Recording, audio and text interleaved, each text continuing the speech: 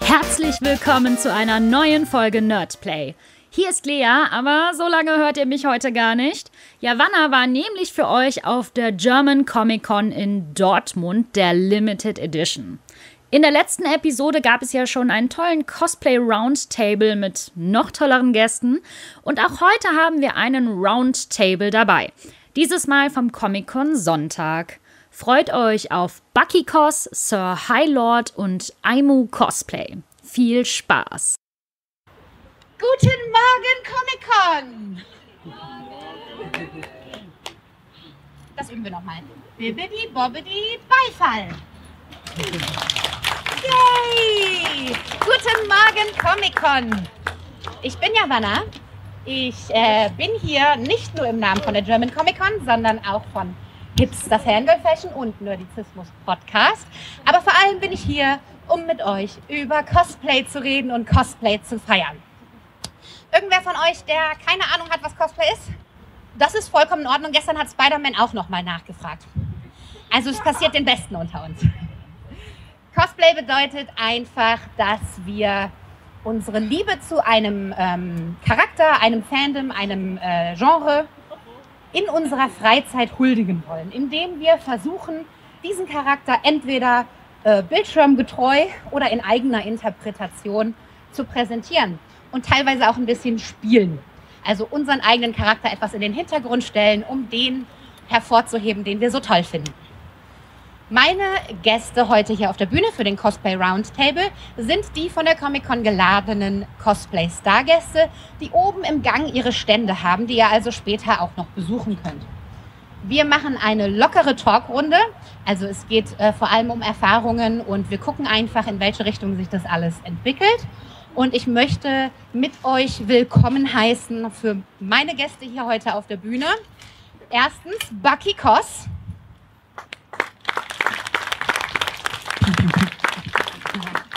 Dann haben wir Aimo Cosplay und Sir High Lord, die oben gemeinsam einen Stand haben. Und äh, die anderen beiden Gäste, Tingilia und äh, Eden Crafts, sind gerade noch oben am Stand und können dort auch besucht werden. Die haben wunderbare Cosplays an, die ähm, leider nicht ganz so sitztauglich sind wie diese tollen Kostüme hier. Und deswegen sind die oben am Stand geblieben. Aber auch die dürft ihr gerne mit Fragen löchern, wenn ihr an ihren Stand vorbeikommt. Manche von euch waren vielleicht gestern schon da, andere nicht. Deswegen ziehen wir die ganze Runde heute einmal von vorne auf.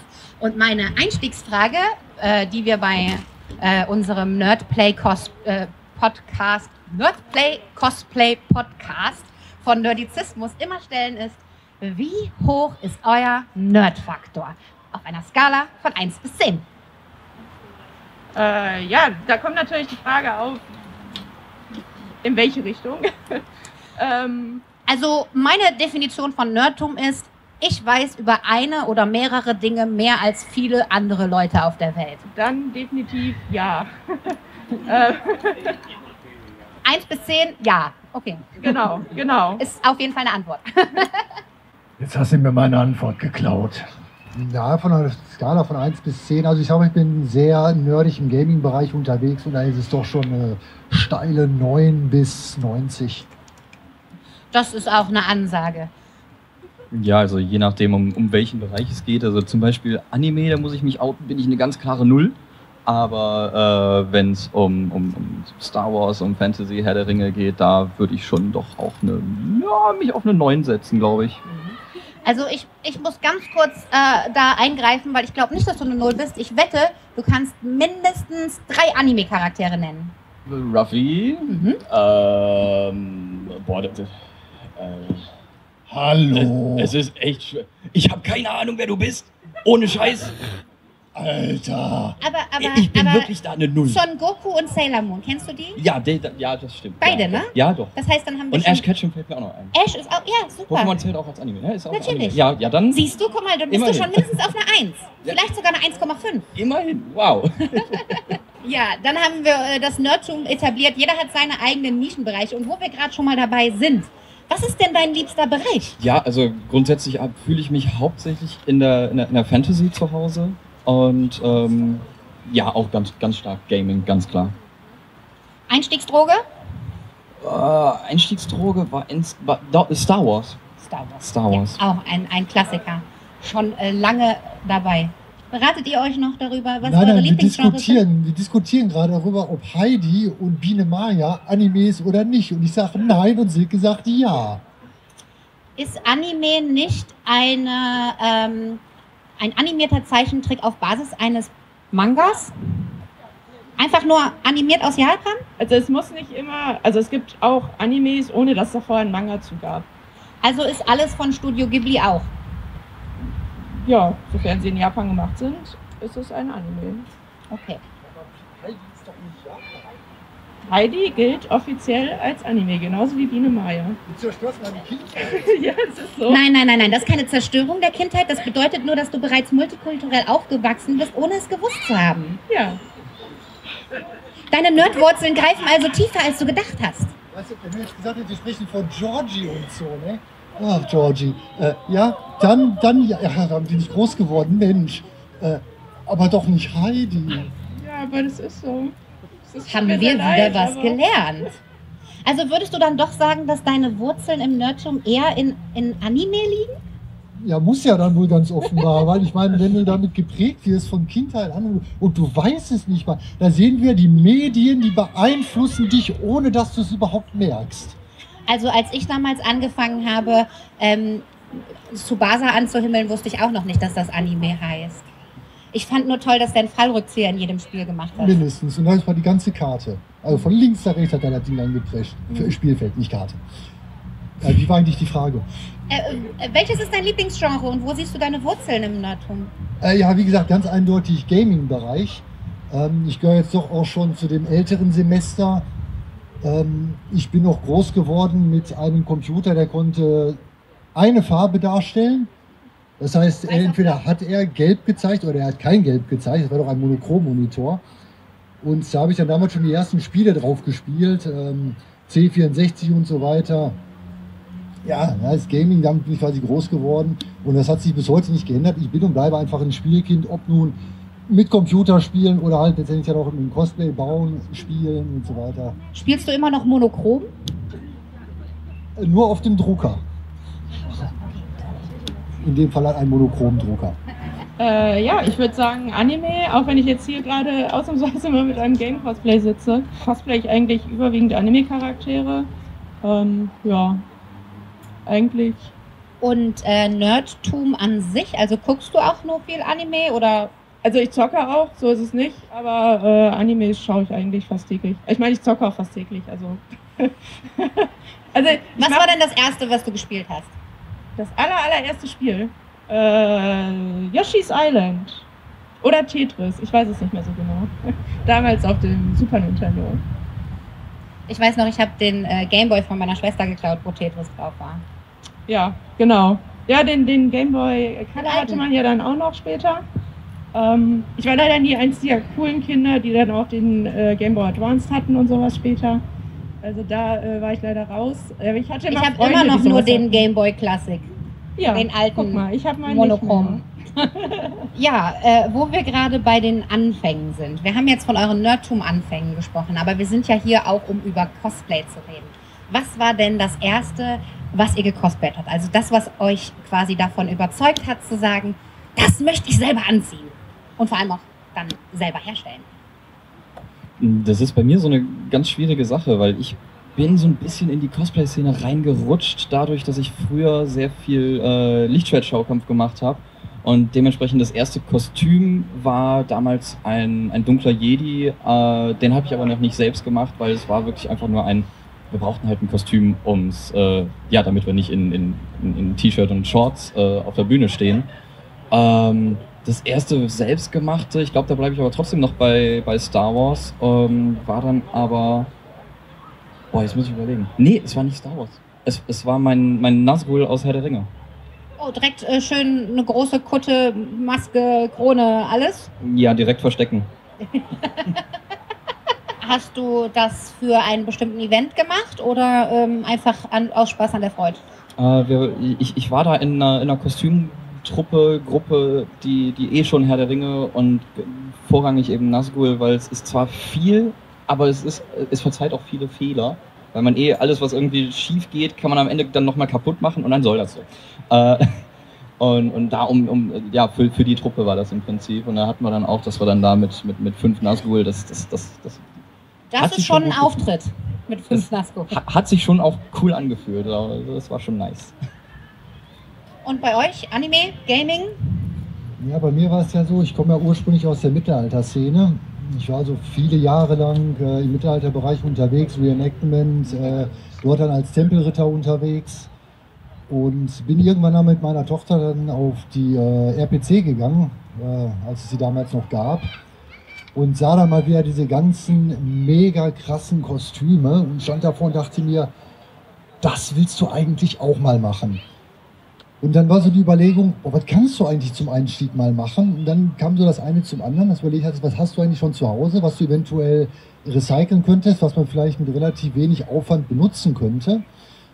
Und da bot sich dann einfach der Templer an und dann war ziemlich schnell die Brücke geschlagen zu Dantes Inferno, was ich damals auf der Xbox 360 gesuchtet habe. Es war so ein geniales Game. Und dann war das erste Cosplay tatsächlich dann Dantes Inferno, also Dante Alighieri. Gut, von meinem ursprünglichen Mittelalter-Templer konnte ich nichts verwenden. Ich habe alles neu gemacht. Ähm, war dann auch gut Aber die. Inspiration konntest du nehmen. Genau. Und äh, ja, das war dann mein erstes Cosplay, wo ich auch das erste Mal mich mit allem auseinandergesetzt habe. Ähm, Gerade mit, mit Warbler bzw. Cosplay Flex und wie baut man eigentlich 2,40 Meter große Sensen, ohne dass sie zusammenfallen und äh, solche Geschichten. Also bei dir auch das erste Cosplay direkt all in. Ja, Also ich habe ähm, einen sehr äh, holprigen Start ins Cosplay gehabt. Äh, was, ja, ich wollte nicht holprig sagen, aber sehr spontan. Ähm, wir waren auf der Gamescom und wir waren irgendwie, es gab irgendwie, wir waren ganz spontan, haben uns dazu entschieden, auf die Gamescom zu gehen. Und dann haben wir nur noch Tickets bekommen für, ich glaube, donnerstags und ich glaube dann samstags oder sonntags irgendwie. Irgendwie so. Also sind hingefahren, wieder zurück. Ähm, und ersten Tag auf der Gamescom sind wir halt rumgelaufen und dann sahen halt immer ganz viele Leute ganz cool aus, weil die Kostüme anhatten und ich fand das irgendwie so richtig nice. Und dann waren ja auch überall diese Merch-Stände und Cosplay-Stände, wo man auch Kontaktlinsen und sowas kaufen konnte. Dann war ich so am überlegen, ja eigentlich würdest du auch gerne mal so bunte Kontaktlinsen tragen. Und dann war ich die ganze Zeit auf dem Heimweg am überlegen, so, ja, was könntest du denn cosplayen, was irgendwie bunte Augen hat.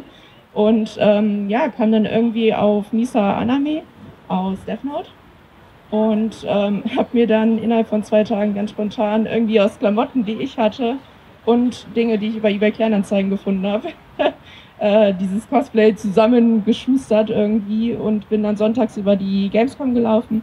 Das war tatsächlich noch, als die Gamescom sonntags war.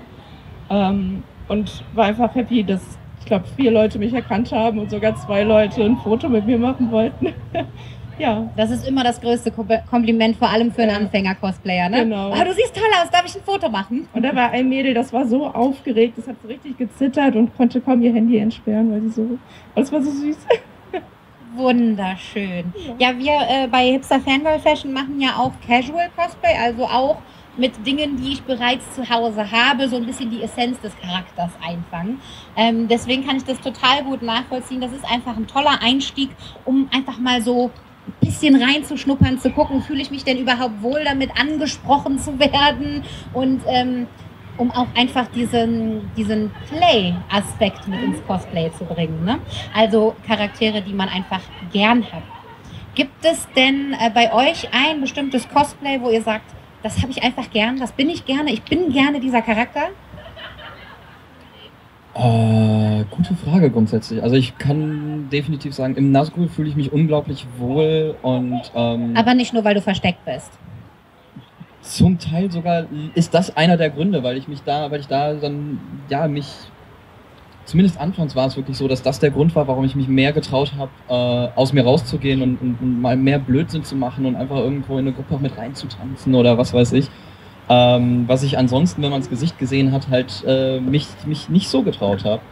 Ähm, ansonsten, äh, was ich, ein Charakter, den ich sehr fühle, der, der wird nächste Woche fertig. Möchtest du ihn schon verraten? Äh, sehr gerne. Das wird äh, Red Hood werden. Oh, oh, sehr schön. Welche, welche Variante? Also, Ähm, da, da bin ich einmal richtig Comic Accurate gegangen und ähm, habe jetzt am ja, ge gestern die Nachricht bekommen, dass meine, meine leuchtend weißen Linsen für den Helm endlich angekommen sind. Deswegen kann er nächste Woche endlich fertig gemacht werden. yay. Und dann kann man den bei dir wo sehen, wenn wir das nachgucken möchten? Äh, auf, auf, auf Instagram bei unter Buckykos, aber alles Wichtige passiert eigentlich eh, wird auch auf, auf, auf Tingilia dann gepostet, da ist, also der Bucky-Account ist relativ. ja, also so das habe ich vorhin ja noch nicht gar nicht erwähnt. Du bist ja mit Tingilia hier. Genau, ich bin eigentlich die Plus 1 von der Tingilia. Das stimmt ja so nicht. Du bist auch als Bucky Cos mit auf dem Plakat angekündigt für den Cosplay Roundtable. Ja, also wir sind sehr froh, dass auch du hier bist. Das freut mich. ja, aber wir machen alles zusammen. Wir sind ein, ein Team. Ähm, und genau, also alles was Wichtige passiert definitiv auch, findet man auch auf dem Tingilia-Account. Wir, wir, ansonsten kann man uns auch auf Twitch zuschauen, zu, da wo wir auch dann zusammen rumhängen. Baut ihr da? Genau, also wir machen Crafting-Streams äh, zweimal die Woche regelmäßig und ähm, ja, qu- querbeet im Prinzip. Viel quatschen, viel, man kann uns alles fragen und äh, basteln, was gerade so ansteht.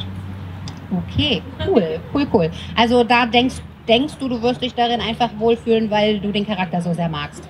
Genau, also ich, ich, ich, ich finde den Charakter super, super spannend, teilweise witzig. Also allein die, die, die Backstory, dass, dass, dass Batman ihn gefunden hat, als er die, die, die, die, die Felgen vom Batmobil klauen wollte.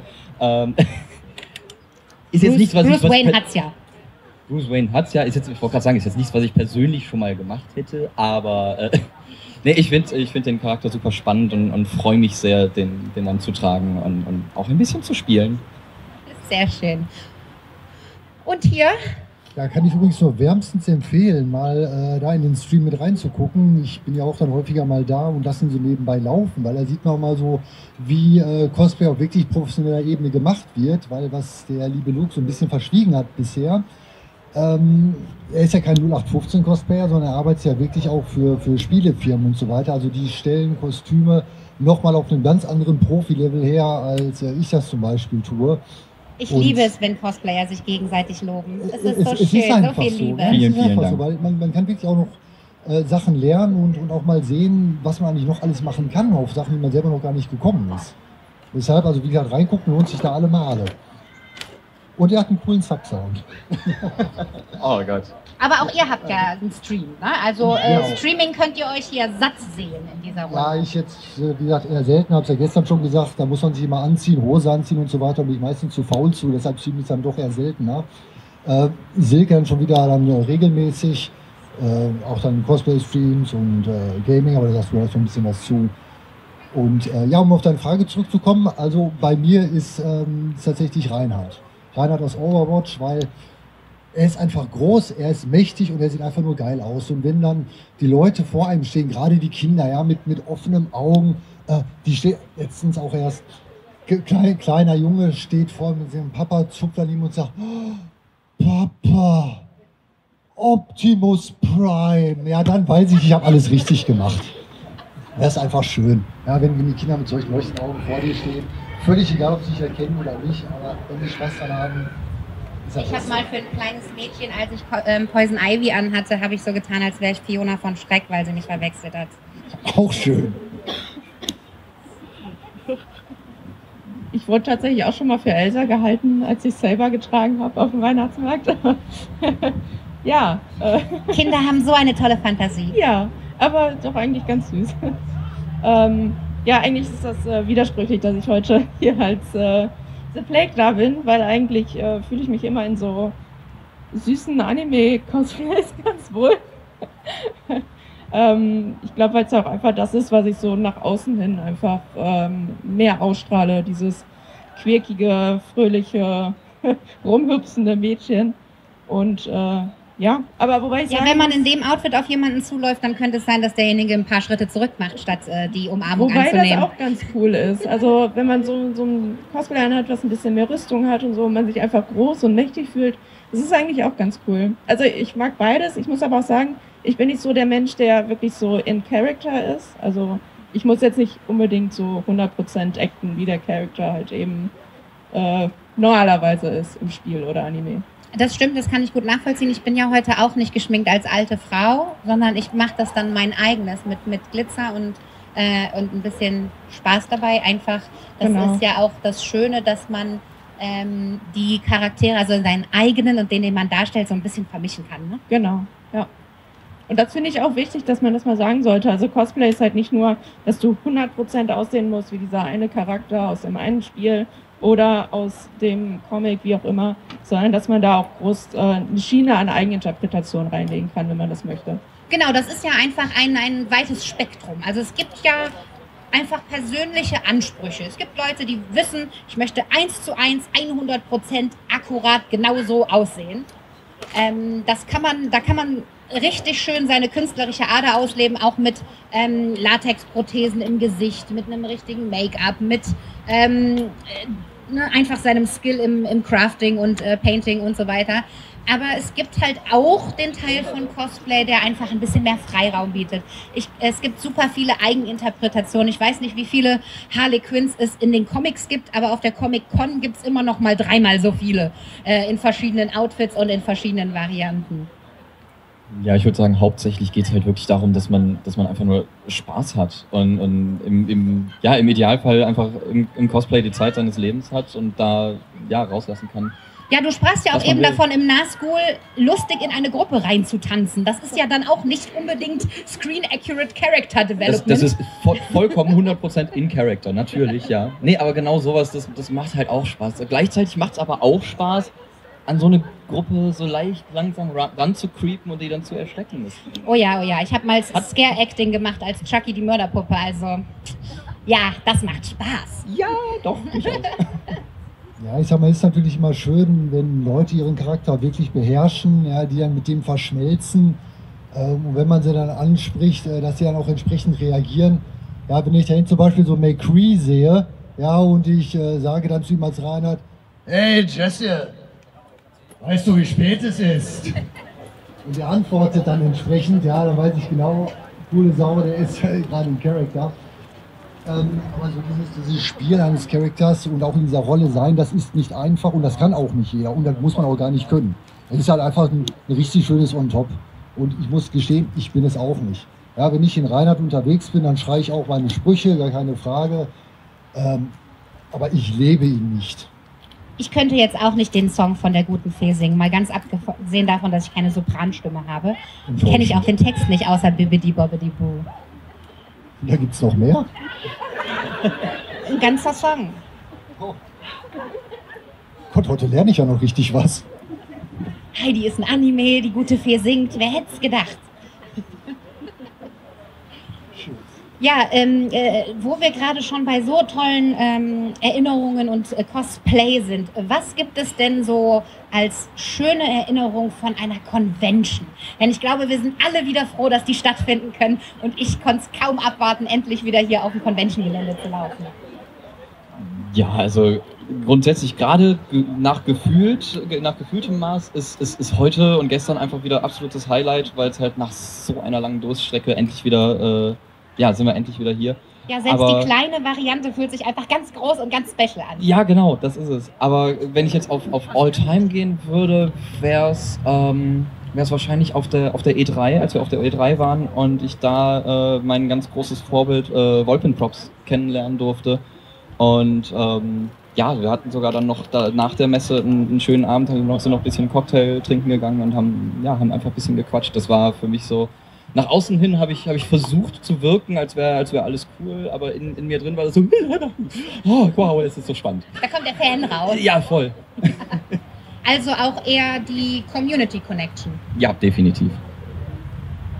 Äh, ja, sehe ich ähnlich. Ähm, also man hat inzwischen irgendwie so ganz, ganz viele Leute kennengelernt, gerade auch über Twitch und so, die halt so einmal komplett quer in Deutschland wohnen ähm, oder halt auch teilweise außerhalb von Deutschland. Und so auf Messen, finde ich, kann man sich halt nochmal alle sehen und äh, verbringen eine gute Zeit zusammen. Und das ist einfach so mitunter das Beste, finde ich. Ja, das kann ich sehr gut verstehen. Man sammelt sich so seine Con-Familie zusammen, ne? die äh, aus allen äh, Ecken und Enden des Landes und des Kontinents kommen. Ja, ich sag mal, da gibt es viele Beispiele, ob das jetzt ähm, einfach mal so spontane Sit-ins sind, dass man irgendwen, äh, ich sag mal, hinter den Kulissen dann mal trifft, äh, mit dem man sich unterhält. Äh, abends nach einer Convention zufällig äh, dann mit, mit Leuten zusammensitzt, mit denen man eigentlich vorher keinen Kontakt hat. Äh, bestes Beispiel Leon Giro habe ich mal nachher Gamescom kennengelernt. Man saß abends mal so zusammen in der Kneipe. Ähm, du hast natürlich Erinnerungen, die beiden einem dann ähm, erhalten. Die persönlichen Highlights, wo man sagt, man ist das erste Mal auf so einer riesigen Bühne wie bei der Gamescom man ist dazu auserwählt, da oben zu stehen. Das ist schon was, was sich einbrennt. Äh, die ersten eigenen Stände, wo man eingeladen wird, auf, auf zum Beispiel CCXP, bei so einem riesigen Event einfach teilnehmen zu dürfen. Das sind dann so kleine Meilensteine, wo man einfach unglaublich stolz drauf ist. Aber das, was jede Con eigentlich immer wieder ausmacht, das sind die, die Menschen, die man einfach immer wieder trifft oder neu kennenlernt. Wo sich dann auch über viele Jahre vielleicht dann Kontakte und auch Freundschaften rausentwickeln. Und darum geht es, denke ich mal, auch letztendlich. Ja, ich muss auch sagen, ich habe jedes einzelne Programmheft aufbewahrt, wo mein Name drin steht. Also ich bin da auch immer noch so wie, äh, wie als kleines Kind, wenn die Mama die Zeitungsausschnitte gesammelt hat, wenn man mal mit dem Schultheater auf der Bühne stand oder so oder vom beim äh, Hockeyspielen ein Tor geschossen hat. Sobald der Name in der Zeitung wird, wird das ausgeschnitten und in ein Sammelalbum getan. Ich ja. habe eine Kiste voll mit Convention-Programmpunkten und ich habe auch, als ich gestern hier angekommen bin, erstmal das Poster da fotografiert, auf dem steht, moderiert von Javanna.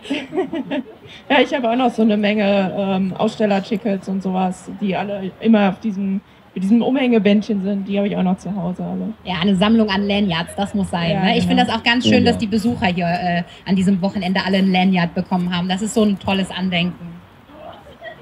Und es sieht immer direkt so aus, als wäre man irgendwie Crewmitglied. Ne? Dabei haben wir nur so Armbändchen bekommen. Ja, stimmt. Jetzt, wo ich so drüber nachdenke, ne? Gibt es denn auch was, wo wir gerade bei diesen tollen, äh, freudigen Momenten sind? Gibt es irgendwas, ähm, ich sag mal nicht äh, Negatives, aber so vielleicht lustige, peinliche Momente, von denen ihr erzählen würdet? Das sind doch immer die schönsten Anekdoten. Oh Gott, peinlicher Moment. Da also ich kann, ich kann ja mal anfangen. Also, ich habe ähm, dieses, äh, nicht dieses Kostüm, sondern das, was ich gestern trug, die gute Fee angehabt. Das ist ein, ähm, also die andere gute Fee, die von Schreck. und ähm, die hat Flügel.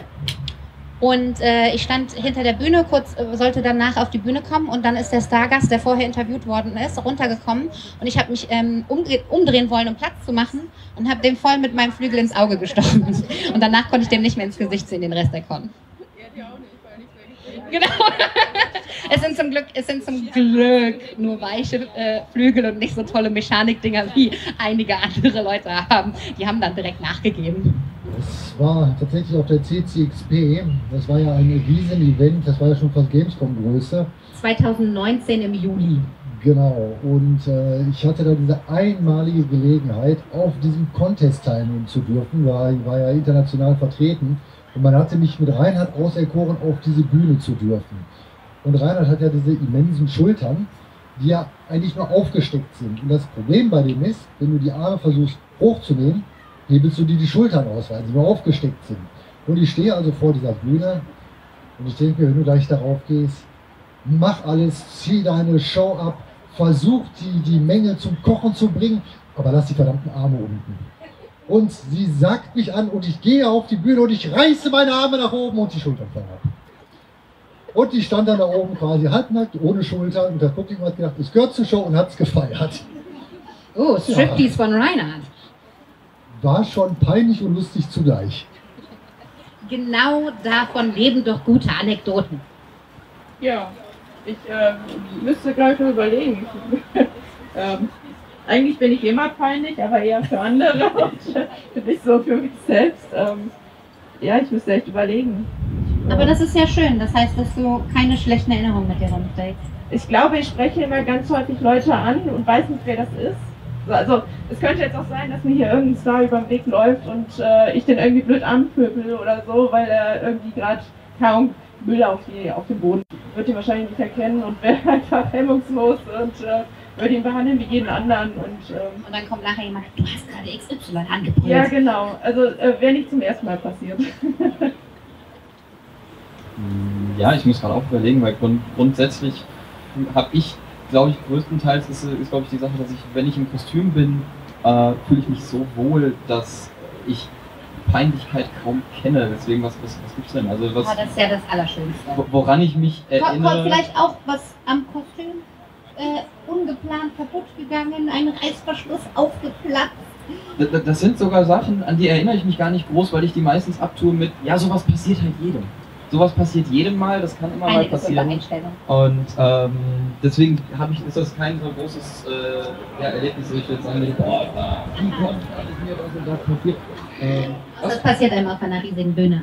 das ist dann natürlich, ja, deswegen, ich, das erste, woran ich gedacht habe, war gerade auch eine der, der, der Lichtschwert-Shows, die wir mal hatten, wo dann ähm, wir uns tierisch verhaspelt hatten in unserer Choreografie und einfach irgendwie nur noch voneinander standen und uns blöd angeguckt haben und keiner wusste mehr, was wir jetzt machen sollen. Und für uns kam das halt ewig vor. Also gefühlt standen wir eine halbe Stunde regungslos auf dieser Bühne. Ähm, letztlich Publikum hat dann gesagt, war, ist mir gar nicht aufgefallen, aber wir haben dann halt irgendwelche Bewegungen gemacht, keine Ahnung, und irgendwann nach, gesagt, gefühlt einer halben Stunde sind wir dann wieder reingekommen. Ähm, Das Publikum dachte vielleicht, ihr hättet euch gerade einfach nur böse intensiv angestarrt. das ist äh, möglich. ähm, nee, ansonsten, ja, ich, ich bin auch mal auf einer, auf einer Messe, ähm, habe ich, äh, oder auf, auf einer Nachmesse-Party habe ich aus Versehen, äh, ja, den, den, den Schauspieler von Iron Fist in der Moshpit ein bisschen weggepokt. Das war eventuell, ja. Aber er, er, er, er Moshpit ist immer auf eigenes Risiko. Eben. Und äh, er hat ordentlich zurückgemoscht. Dann ist ja alles wieder ausgeglichen. Aber ähm, du hast auch direkt, finde ich, eine super Einstellung dazu jetzt gerade mit auf den Weg gegeben, nämlich das passiert jedem Mal. Und deswegen würde ich eigentlich ganz gerne ähm, von euch auch so ein bisschen mal ähm, etwas hören, was ihr so Anfängern mitgeben würdet. Einfach jemand, der sich vielleicht noch nicht ganz traut oder nicht weiß, wo er anfangen soll oder einfach eingeschüchtert ist von dem ganzen Talent, das sich hier überall äh, befindet. Wie kann man in dieses Hobby einfach einsteigen, wenn man, wenn einfach mittlerweile schon so ein äh, Riesenpool an Kreativität in der Welt ist? Mm, Grundsätzlich, also es, es klingt jetzt sehr einfach, wenn ich das sage, einfach machen. Also nicht so viel drüber nachdenken, klar, bis Research und so weiter, aber nicht alles zerdenken und auch jetzt nicht unbedingt alles immer mit den mit denen vergleichen, äh, die das halt schon seit Jahren machen. Ähm, lieber dann mal bei denen durch Instagram scrollen, wenn die halt die alten Posts nicht gelöscht haben. Was, was waren denn so deren erste Kostüme? Wie sah das denn so aus? Und dann sieht man so, ach ja, jeder fängt mal klein an. Und ähm, ansonsten ganz wichtig, was ich auch finde, ist ähm, nicht unter Druck setzen lassen von der Menge an neuen Kostümen, die man in seinem Instagram-Feed sieht. Weil das fühlt sich auch super, sehr schnell super erschlagend an. Äh, man bekommt das Gefühl, das Gefühl, dass, dass jeder irgendwie alle drei Wochen ein neues Kostüm auf, auf Master-Level äh, raushaut. Wenn man dann aber guckt, so okay, das sind, ich, ich, ich sehe ja gerade, ich folge ja, keine Ahnung, 50, Hunderten von Cosplayern äh, und krieg halt von allen das, wo, wo jeder für Monate dran arbeitet. Und, es fühlt sich sehr schnell ähm, so an, als würde man sich selbst, oder man, man, man setzt sich selber sehr schnell unter Druck und das ist nicht gut. Einfach jeder machen in dem Pace und, und, und, und so, wie es halt einem selber gefällt und gut tut.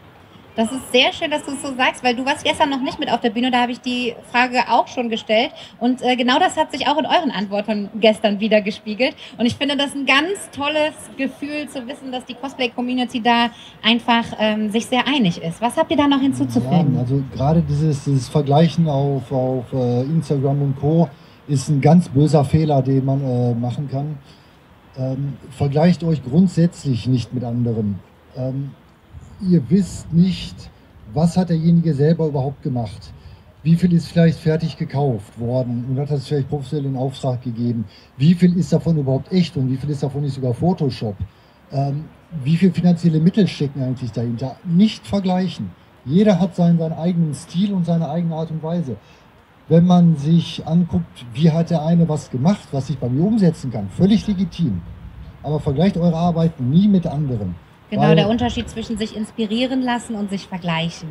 Genau, also wenn, wenn, wenn ihr euch vergleichen wollt, dann vergleicht euch mit euch selbst. Das erste Cosplay ist schon mal besser als das, das vorige, an das ihr euch nicht getraut habt.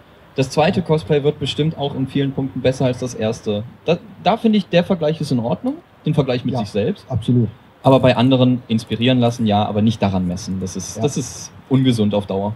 Vor allem, man ist sich selbst immer der größte Kritiker. Das heißt, ich, ich sehe Sachen, die mir überhaupt gar nicht gefallen und da kann ich mich dran hochziehen. Ja, ich bin ja auch so ein blöder Perfektionist. Äh, wenn, wenn die Naht nicht sauber ist, die ich da geklebt habe, dann sehe ich die. Selbst wenn ich die nachher äh, beseitigt habe, weiß ich, dass sie mal da war und sehe sie im Geiste immer noch.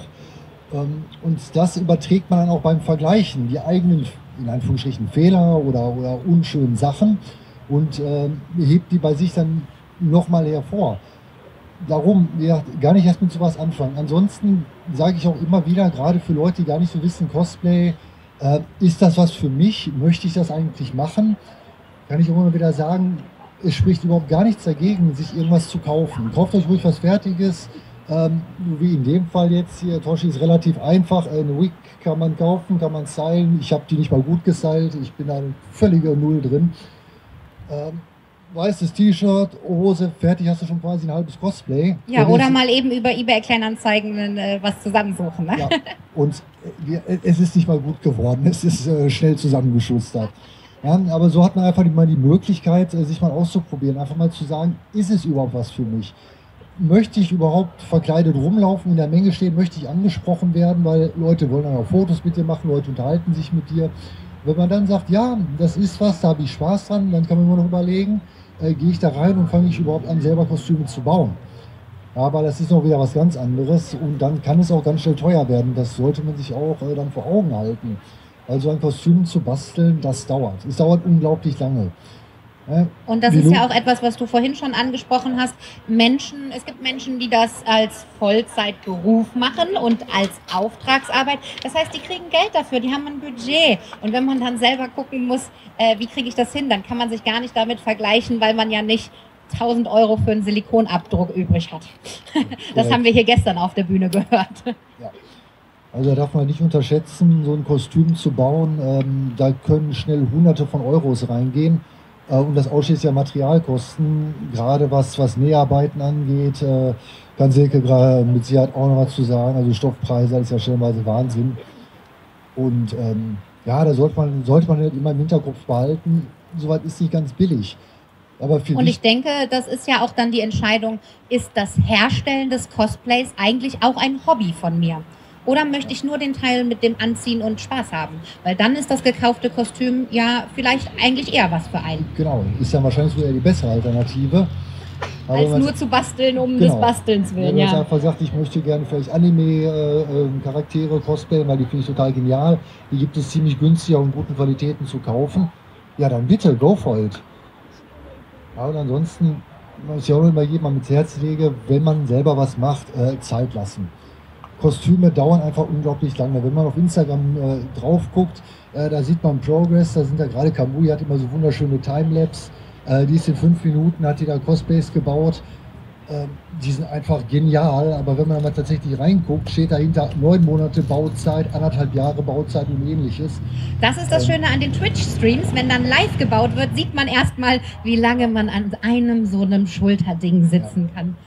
Ist und halt dann vergleicht man vielleicht auch nicht mehr sich selbst so hart damit, weil man denkt, wenn selbst die Profis für ein so ein Teil drei Stunden brauchen, dann darf ich mir dafür auch fünf Stunden Zeit lassen. Ja, und das ist halt was einfach überhaupt gar nicht gesehen wird, auch immer wieder unterschätzt wird, einfach die Zeit in so ein Kostüm reingeht.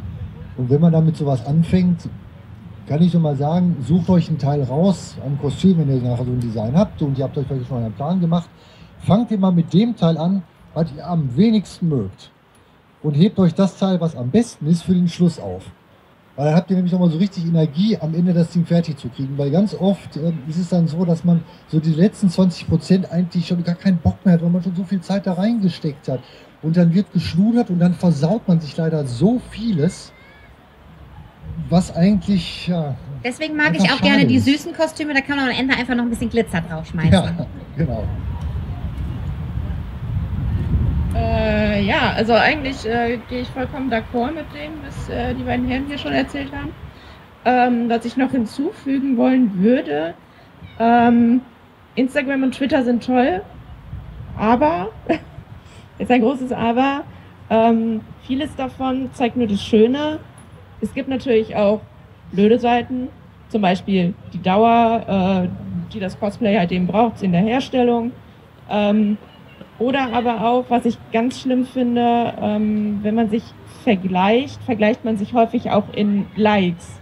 Also in gefällt mir Angaben, in Kommentaren, in äh, wie viele Leute haben das gesehen, wie viele Follower hat die Person. Und ich finde, gerade momentan, wo es halt einfach so komplett überflutet ist mit Cosplayern auf Instagram und Twitter und Schlag mich tot, wie viele Social Media es inzwischen gibt, vergleicht euch da nicht. Versucht nicht Cosplay zu machen, weil ihr irgendwie viele Follower erreichen wollt, sondern versucht Cosplay zu machen, weil euch das Spaß macht. Und nicht mein Berufswunsch ist berühmt werden. Ja, genau. Und also versucht auch nicht irgendwie nach einem Trend zu gehen. Wenn ihr da jetzt irgendein Sailor Moon Cosplay habt, was ihr eigentlich schon seit 15 Jahren cool findet, was halt eigentlich, okay, Sailor Moon wird jetzt immer gehypt, war vielleicht ein schlechtes Beispiel, aber ähm, wenn ihr da Bock drauf habt, dann macht es auch nach 15 Jahren. Wenn es nicht mehr im Hype ist, dann okay, dann habt ihr vielleicht ein paar weniger Likes, aber im Endeffekt müsst ihr doch selber zufrieden sein mit dem, was ihr gemacht habt und nicht Und ich andere. persönlich muss auch sagen, wenn man dann sowas trägt und dann erkennt einen einer, ne?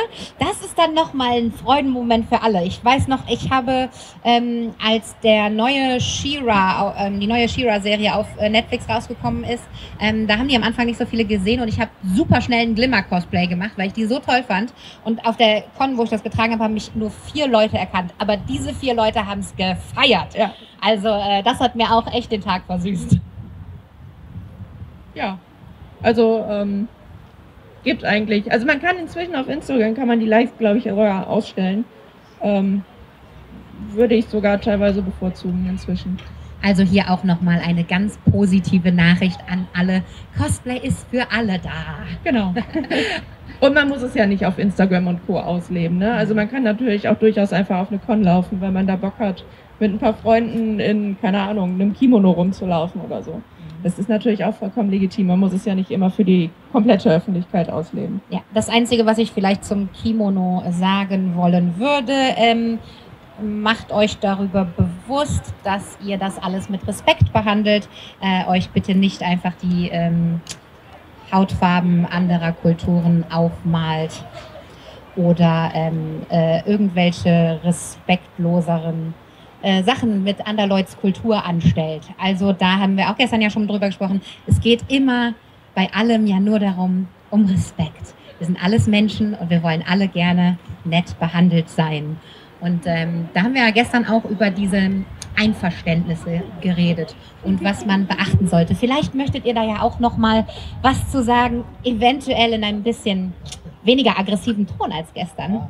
Eventuell. Aber du darfst auch Ich gerne hab- noch mal genau wiederholen, was du gesagt hast. Mir Ja, hat das ich hab- gefallen. ich habe gestern schon gesagt, ähm, ich sagte don't touch, don't fucking touch, weil es ist tatsächlich leider so, dass ähm, unglaublich viele eben immer wieder Leute an, an Kostüme herangehen ähm, und dann einfach anfassen. Prinzipiell ist Anfassen überhaupt gar kein Problem, wenn man vorher fragt. Nur ist es leider dann häufig so, dass das Leute ein Kostümteil sehen, einen Knopf zum Beispiel, und dann fragen, oh, kann man den drehen? Und du sagst, ne, bis gerade eben konnte man ihn nicht drehen. Ähm, kein Scheiß, das passiert regelmäßig, ja. Oder ähm, große Flügel, die hinten dran sind. Leute kommen von hinten und ziehen an den Flügeln. Nicht nur, dass die kaputt gehen können, aber Flügel sind meistens hinten mit einer ziemlich großen Konstruktion am Rücken letztendlich befestigt für, für die Gewichtsverteilung und ähnliches. Und wenn dann einer dran zieht, dann drückt sich diese gesamte Konstruktion hinten ins Kreuz rein und die Leute kippen stellenweise um vor Schmerzen auf einmal.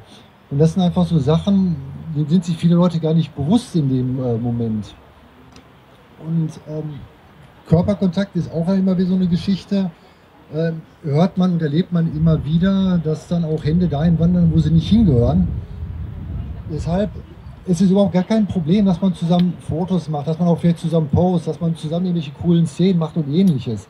Aber einfach vorher darauf ansprechen und dann funktioniert das auch alles. Häufig kriegt man auch überhaupt gar nicht mit, wenn einer zum Beispiel neben mir steht. Gerade wenn ich Reinhard anhab und ich habe meinen Tunnelblick, ja, oder beziehungsweise vorne diese, diese Ausbeulung und vor mir stehen auf einmal irgendwelche Kinder, ohne was zu sagen. Ich sehe die gar nicht. Wie, bin ich wie so ein LKW und überfahre die einfach. Ähm, das ist scheiße. Deshalb einfach kurz ansprechen, äh, dann kann man pausen, man kann Fotos machen und so weiter, überhaupt gar kein Problem. Aber nicht einfach rangehen, nicht von vorne, nicht von hinten. Das kann ganz böse nach hinten losgehen. Ich denke auch fast alle Cosplayer sind fast immer bereit, Fotos zu machen und vor allem dann auch schön zu posen, was das Bild ja noch viel schöner macht. Nur wenn wir uns umziehen, essen oder Pause machen, dann wollen wir halt nicht gerne fotografiert werden und deswegen sollte man immer vorher fragen. Mm, Ja, also im Großen und Ganzen, das hatten wir gestern auch schon als großes Thema, da waren auch eigentlich alle äh, sind da mitgezogen. Ähm, vielleicht könnte man nochmal ansprechen, was so Komplimente angeht oder scheinbare Komplimente. Ähm, wenn ich zu jemandem hingehe, ähm, da lauf, läuft eine Gruppe mit äh, drei Leuten rum, zwei davon tragen dasselbe.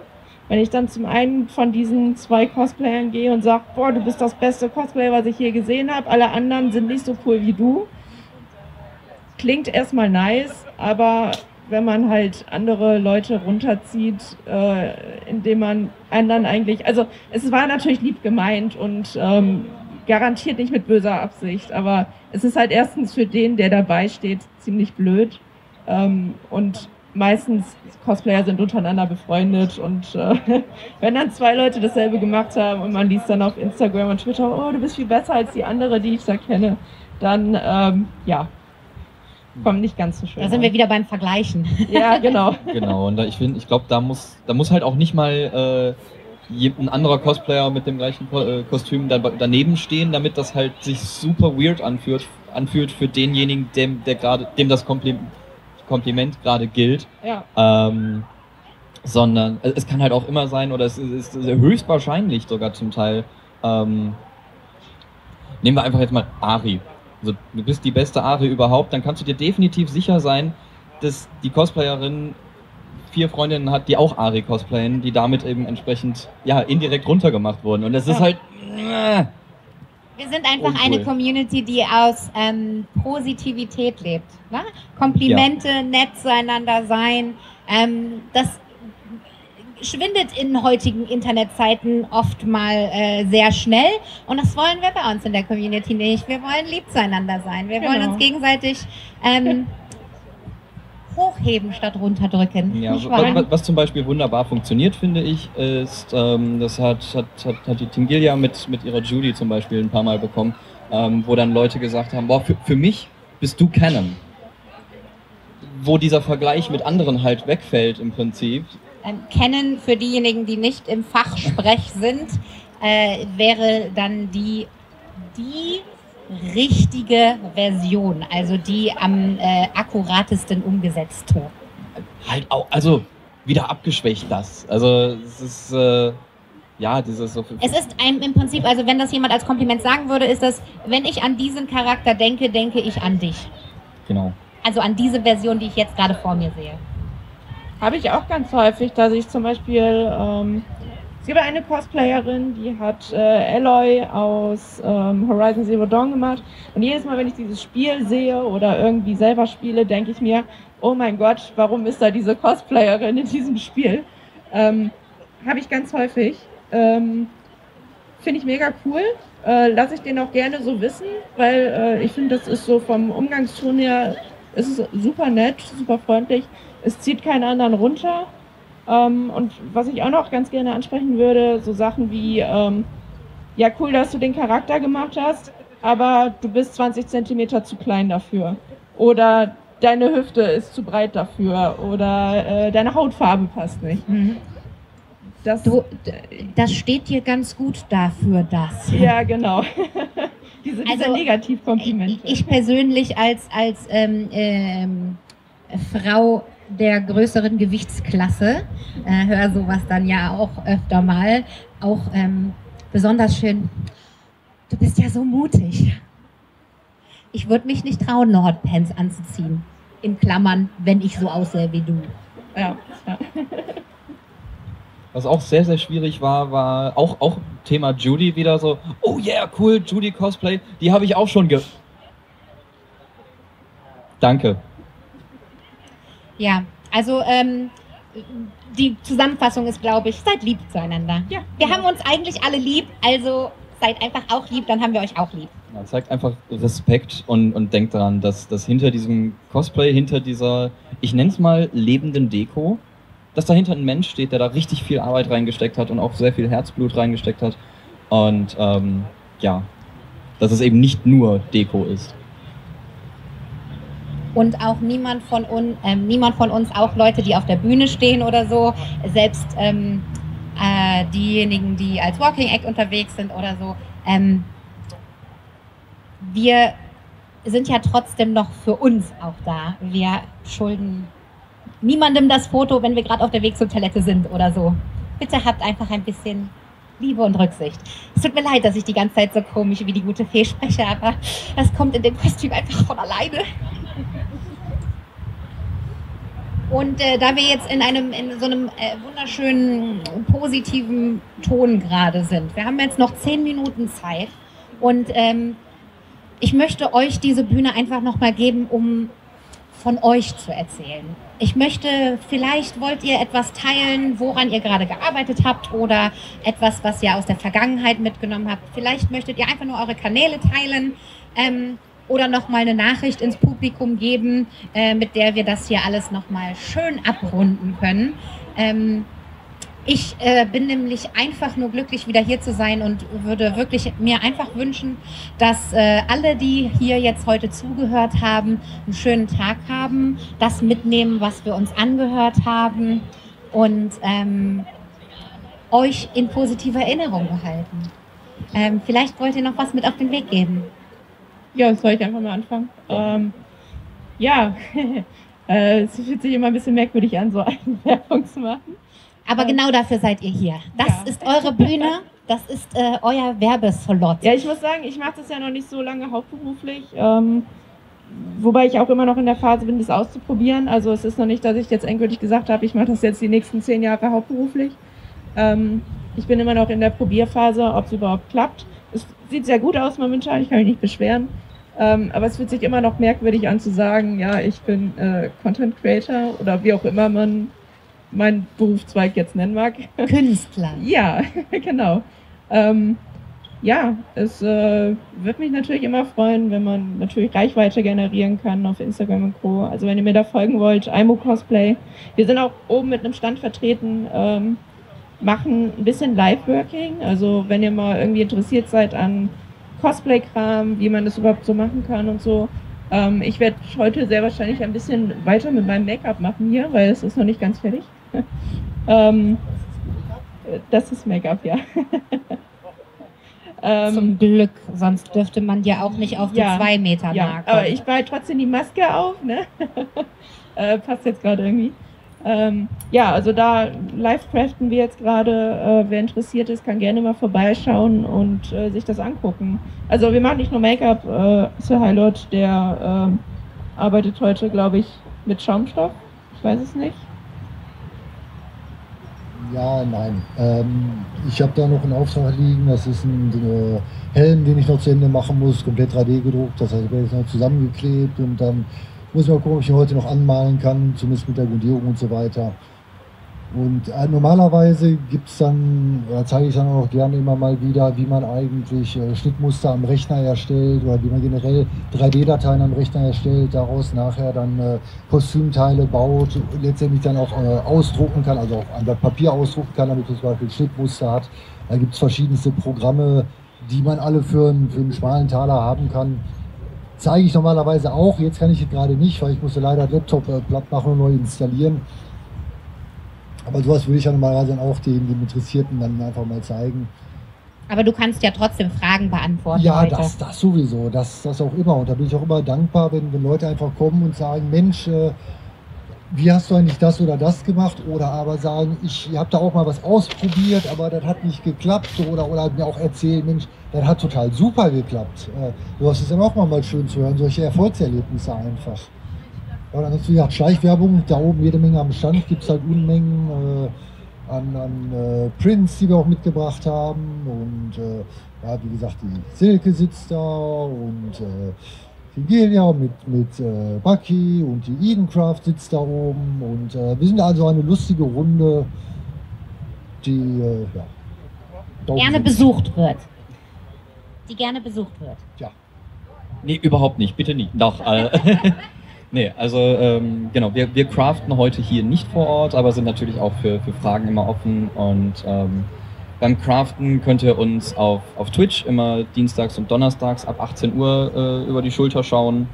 Ähm, aktuell ist noch ein, ein, ein Wizard aus Diablo 3 in Arbeit. Ähm, ich arbeite noch an ein paar, noch, an noch ein paar mehr Cyberpunk-Waffen. Ähm, und demnächst äh, haben wir noch einen, einen 24-Stunden-Stream sogar, wo wir irgendwie versuchen, warum, was auch immer uns da geritten hat, innerhalb von 24 Stunden werden wir dann da ja, uns Mühe geben, dass wir Aela aus äh, Skyrim bauen. Ähm, komplett live. Das wird, wird spannend. Äh, und genau, ansonsten da oben sitzen wir und äh, auf, auf Instagram und, und sonstigen äh, Plattformen findet man ja, uns hauptsächlich unter, unter Tingilia Cosplay, da passiert mehr. Äh, auf Instagram habe ich auch, heiße ich, heiße ich Bucky Cos, da, da, da passiert nicht ganz so viel, aber wer möchte, ich freue mich auch darüber. Vielleicht passiert da ja mehr, wenn mehr Leute kommen. Das ist nicht ausgeschlossen. Also nochmal für alle, da oben bedeutet, wenn ihr durch den Eingang wieder reingeht, die Treppe hoch.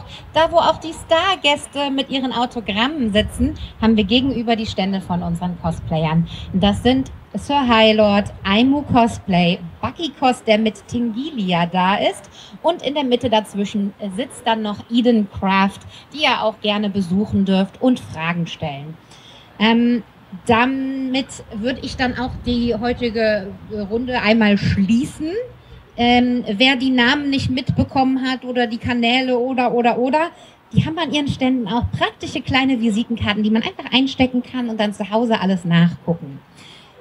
Für mich gilt, ich bin heute äh, Nachmittag nochmal hier, um den Cosplay Catwalk zu moderieren mit all den anderen tollen Cosplayern hier auf der Convention. Äh, unsere Stargäste könnt ihr oben an ihren Ständen besuchen und äh, diesen äh, Aufnahme von diesem Roundtable sowie den Podcast gibt es dann auf nerdizismus.de und äh, die Bilder von der Convention auf Hipster Fangirl Fashion. Und ich würde mich sehr freuen, ein paar von euch um 16 Uhr wieder hier zu sehen für die Feier der äh, Cosplayer dieser Convention. Ich bedanke mich sehr bei euch. Ich wünsche euch noch einen tollen Convention-Tag, einen schönen Sonntag und genießt diese Con.